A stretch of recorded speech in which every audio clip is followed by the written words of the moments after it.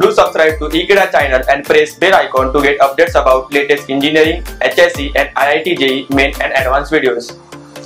As we have seen what is rotational flow and irrotational flow and along with that we have seen what is mathematic, mathematical equation for rotational as well as irrotational flow. Let us solve a few practical problem related to these kind of flow. So we have a problem over here. The velocity component in two dimensions are u is equals to y cube by 3 plus 2x minus x square y and v that is velocity along y direction is x x y square minus 2y minus x cube by 3. So we have to show that it represents a case of irrotational flow. So there are two things over here that is irrotational flow irrotational and flow. Okay? So first we'll see that whether it flows or not. So whether a fluid is flowing or not we can see that by applying continuity equation. Now since this is in two dimension we'll apply continuity equation in two dimensions. So what is given to you over here that is u equals to y cube by 3 plus 2x minus x square y. And v equals to that is x y square minus 2y minus x cube by 3 so we have to apply what is continuity equation. So what is continuity equation?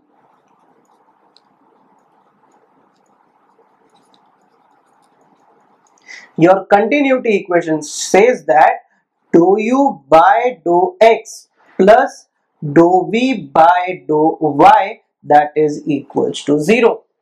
So let us prove if it is equals to 0 then this entire fluid flows from one part to another part.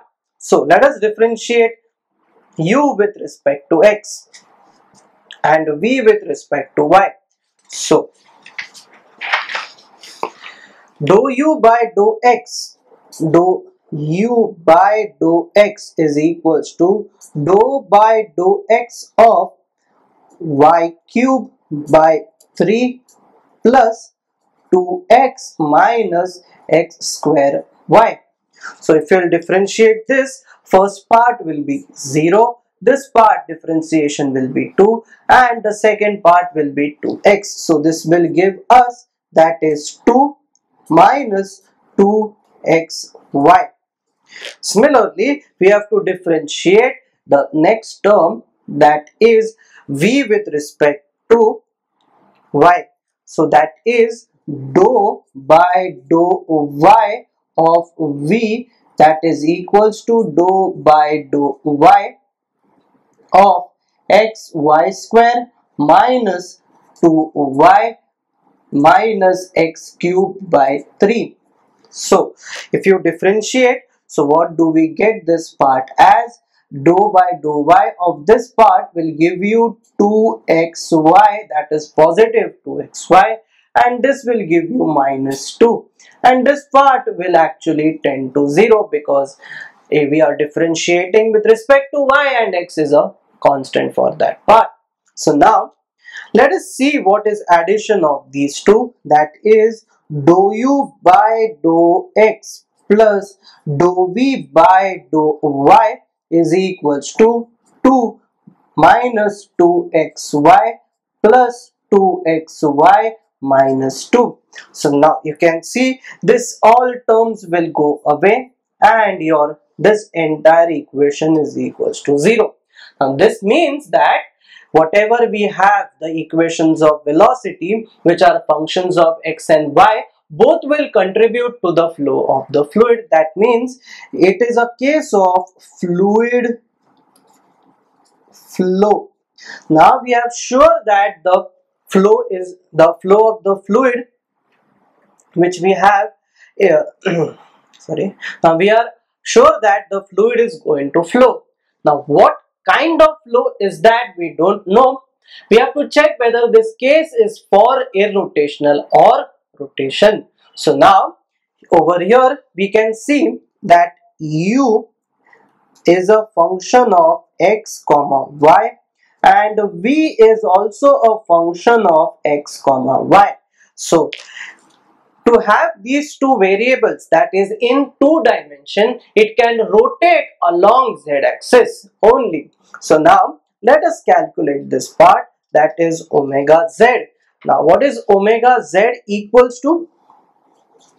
Omega z equals to half of that is dou u by dou y minus dou v by dou x. Or rather we can also write this omega as omega x i cap plus omega y j cap plus omega z k cap. And that is equals to a determinant of that is i j k. Here you will have u v w. Here you will have dou by dou x dou by dou y as well as dou by dou z. Now you can see since the velocity component along z direction is zero then what you will get is only omega z. Omega z.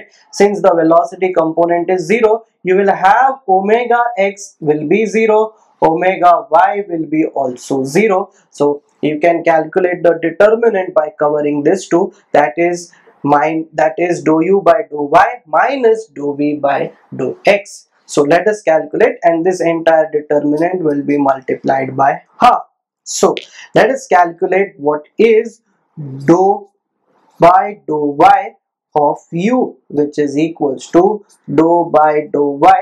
The equation is that is y cube by 3 minus uh, plus 2x minus x square. Y so if you differentiate with respect to y what do we get over here? Is the differentiation over here is 3y square by 3 minus of this will be x square. So this will be equals to that is y square minus x square. So we have found out what is the first term over here that is dou u by dou y. Now let us calculate the second term that is dou v by dou x. That is dou v by dou x. So let us calculate this dou by dou x of that entire term that is v term. Now v which is given to you as xy square minus 2y minus x cube by 3. So if we will differentiate this part this will come out to be this is y square. This will tend to 0 and this part will be minus of 3 into x square by 3 so this is y square minus x square. So now your dou u by dou x dou dou v by dou x is equals to y square minus x square and dou by dou y of u is equals to from the previous part y square minus x square. And what is omega z equals to? That is 1 upon 2 1 upon 2 dou by dou x of v or minus dou u by dou y. So either how this will tend to 0 if you subtract this part. So now if this part is 0 uh, if this part is 0 you know that the flow is called as an irrotational flow. Irrotational flow. So now we have seen whether the flow so we have got this as omega z equals to 0 which means it is an irrotational flow. So we, in this problem we have seen whether the fluid will be flowing or not that will be confirmed by continuity equation and whether the flow is rotational or irrotational flow that will be confirmed by equation that is for omega z, omega x as well as omega y. So I hope you have understood what is um, I hope you have understood how to solve problems on rotational flow and irrotational flow. Thank you.